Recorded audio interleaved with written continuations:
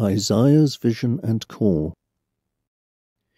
In the year that King Uzziah died, I had a vision of the Lord. He was on his throne high above, and his robe filled the temple. Flaming creatures with six wings each were flying over him. They covered their faces with two of their wings, and their bodies with two more. They used the other two wings for flying as they shouted, Holy, holy, holy Lord all powerful, the earth is filled with your glory.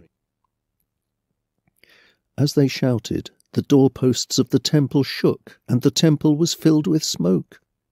Then I cried out, I'm doomed.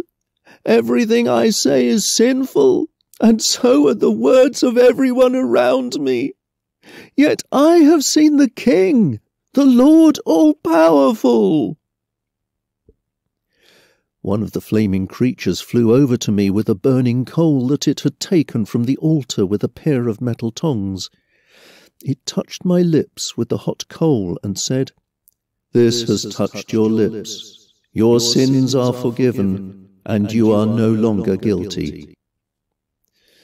After this, I heard the Lord ask, Is there anyone I can send? Will someone go for us? I'll go, I answered. Send me!